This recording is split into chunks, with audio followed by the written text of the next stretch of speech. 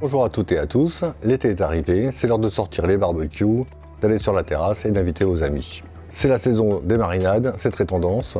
Pour réaliser la marinade, j'ai utilisé différents produits de la boutique, de l'huile d'olive, du poivre noir de Campo, du curcuma, le récipient 3 litres Bicèvre. Pour réaliser une bonne marinade, la petite astuce, c'est quoi?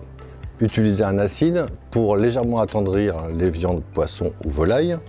On peut très bien utiliser du jus de citron, du vin blanc ou du vinaigre. L'utilisation du bicèvre va vous permettre de diviser par deux le temps de marinade.